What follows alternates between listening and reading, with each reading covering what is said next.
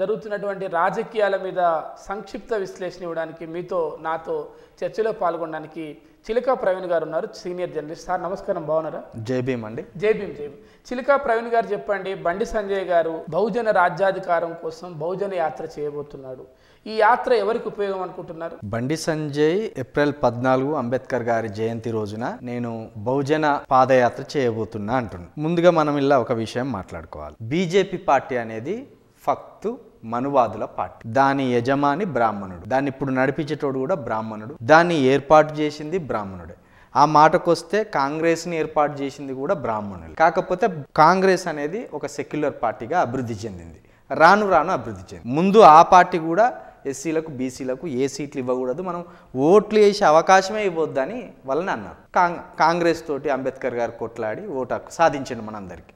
అది పక్కన పెడితే బండి సంజయే ముందు అంటే ఒక బీసీ బిడ్డగా ఒక బహుజన వాదాన్ని నెత్తినెత్తునుకొని తెలంగాణ తెచ్చిన నాయకుడిగా బండి సంజయ్ గారు అట్లా పాదయాత్ర చేయడం నచ్చట్లేదా మీలాంటి వాళ్ళకి?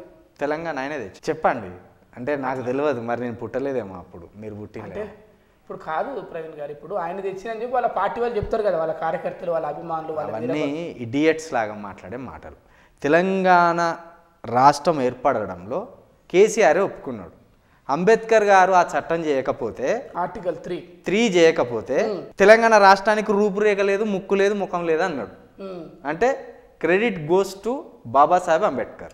Telangana కోసం కొట్లాడింది కేసీఆర్ గారు కొట్లాడింది ఆయన కొట్లాడడంలో దేశానికి స్వతంత్రం రావాలని గాంధీ మిగతా బ్రాహ్మణులు ఎంత దురుద్దేశంతో ఎంత స్వార్థ బుద్ధితోటి కొట్లాడిందో తెలంగాణ రాష్ట్ర సాధన రావాలని కేసీఆర్ ఆలోచన వెనుక నేను ముఖ్యమంత్రి కావాలనే దురుద్దేశం ఉంది. అది పక్కన పెడదాం. మనం బండి సంజయ్ బహుజన పాదయాత్ర గురించి బాబాసాహెబ్ అంబేద్కర్ గారి స్ఫూర్తితోటి అంటే ఆ పార్టీ బాబాసాహెబ్ సిద్ధాంతాలు పాటిస్తున్న పార్టీగా పాదయాత్ర చేస్తే తప్పే ఉంది. అదే అదే. బహుజనులుగా మీకు వచ్చిన నొప్పే ఉంది. కొంచెం మాట్లాడినాయండి భద్ర గారు. నేను ఏమంటానంటే బాబాసాహెబ్ అంబేద్కర్ గారి జయంతి రోజున. చూడు ఎంత కుట్ర దాగుందో ఇందులో. బాబాసాహెబ్ అంబేద్కర్ గారు మను మనుస్మృతిని నడి రోడ్డు మీద కాల్చివేసిండు. అవును.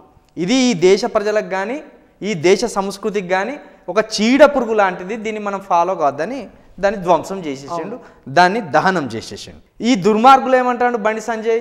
బాబాసాహెబ్ అంబేద్కర్ గారు పుట్టినరోజున బాబు అంబేద్కర్ గారు ఏదైతే అసహించుకున్నారో ఆ అసహించుకునే సంస్కృతినే వీళ్ళు ప్రోత్సహిస్తూ బీజేపీ మెయిన్ మోటో ఏంటిది? మనుస్మృతి. అవును మనుస్మృతి వాళ్ళ అధికార మనుస్మృతి. మనుస్మృతి. అధికారికంగా వీళ్ళు రాజ్యాంగాన్ని ఏదో బలవంతంగా ప్రేమించినప్పటికీ వాళ్ళ మోటో మాత్రం మనస్మృతిని మళ్ళీ ఇప్పుడు బండి సంజయ్ గారు మనుస్మృతిని తగలబెట్టేసి పాదయాత్ర చేయమంటారా మీరు? మీరు చెప్పేది నాకు వంద శాతం మనుస్మృతి బుక్కులు తెచ్చుకోవాలి. ఆ మనుస్మృతి బుక్కులు మంటలాల్లో వేసి దీన్ని కాలబెడుతున్నా అని చెప్పి పాదయాత్ర చేయాలి. రెండోది బహుజన పాదయాత్ర అంటానుగా నీ ఇంట్లో నీకు ఎదిగిన కొడుకున్నాడు. నీ కొడుక్కి ఎస్సీల బిడ్డను కాదు ఎస్టీల బిడ్డను కాదు మైనార్టీల బిడ్డను కాదు. నీ కాస్ట్ కాకుండా నీ కులం చూడకుండా ఒక ముదిరాజు కూతురును ఒక గౌండ్ల కూతురును ఒక శాలవారి కూతురును ఇచ్చి పెళ్ళి చేయి. చేసి నాకు క్యాస్ట్ లేదు నేను బహుజనుణ్ణి నేను క్యాస్ట్ పట్టించుకోవట్లేదు నేను మతం పట్టించుకోవట్లేదు నేను బహుజనుణ్ణి అని అప్పుడు చెప్పి నువ్వు పాదయాత్ర చేయి. రెండోది బాబాసాహెబ్ అంబేద్కర్ గారు కాలబెట్టిన దాన్ని ఆయన పుట్టిన పుణ్యదినాన దుర్మార్గులు మీలాంటి బీజేపీలు బహుజన పాదయాత్రను దొంగ నాటక తెరదిస్తానవా అసలు ఆ పార్టీలో నువ్వే పెద్ద చెంచాగాడివి. నీకే అధికారం లేదు. నీ నీ అట్లెట్లా ఒక రాష్ట్రానికి అధ్యక్షుడు ఒక పార్లమెంట్ సభ్యుడు ఈ దేశ అత్యున్నతమైన చట్టసభల సభ్యుడు ఆయన పట్టుకునే అధికారం లేదని ఎందుకు అంటున్నారు? నేను అదే అంటున్నా. నీ పార్టీకి ఓలాండ్ సోల్ ఓనర్ నువ్వా? ఒకళ్ళ చేతిలో కీలు బొమ్మవి నువ్వు. ఎక్కడో ఉండి ఎవడో కీ తిప్పితే కానీ నువ్వు తిరగలేవు. అంటే నువ్వు చెంచా. చెంచా యుగం బుక్లో కాంశీరామ్ గారు అద్భుతంగా నాలుగు రకాల చెంచాలు ఉంటారని చెప్పిండ్రు అవకాశవాద చెంచాలు రాజకీయ చెంచాలు ఆ? ఇంకోటి దగ్గర ముఖాల మీద ఉండి ఆడుకునే చెంచాలు. ఈ బుక్ అంతా నేను తీసుకొస్తా ఓ రోజు నా దాంట్లో లైవ్ పెడతా కానీ నువ్వే చెంచాగాడి వల్ల. నీ పార్టీకి ఎవడు అధ్యక్షుడు ఎవడు? అంటే ఇప్పుడు ఈ బహుజన పాదయాత్ర తెలంగాణ సమాజం రిసీవ్ చేసుకోదంటారా? తెలంగాణ ప్రభు తెలంగాణ ప్రజలు రిసీవ్ చేసుకుంటారా లేదా అనేది పక్కన పెడితే ఒక దురుద్దేశంతో ఒక కుట్రతోటి ఇప్పుడిప్పుడే బహుజనవాదం తెలంగాణలో ఊపందుకుంటున్న ఈ సమయంలో అసలైన బహుజ బహుజనవాదాన్ని పక్కకు దోలేలా దొంగ బహుజనవాదం. అంటే ఇది ఎట్లున్నదంటే నేను చెప్తా కదా అప్పుడప్పుడు. చెప్పండి ఏం చెప్తారు? ఏది? పాలు తాగటోడు మందు తాగటోడు ఇద్దరు ఒకటే అనేటట్టున్నది ఇది. నీది ఏంటిది? నీది విషవృక్షం నీది. ఓకే చేలో నీ పార్టీల అధ్యక్షుణ్ణి నీ పార్టీల ప్రధానమంత్రిని నీ పార్టీల రాష్ట్రపతిని ఎస్సీని పెట్టిండు. ఏ ఏ అధికారాలు లేని ఏ అధికారాలు లేని పదవి అది.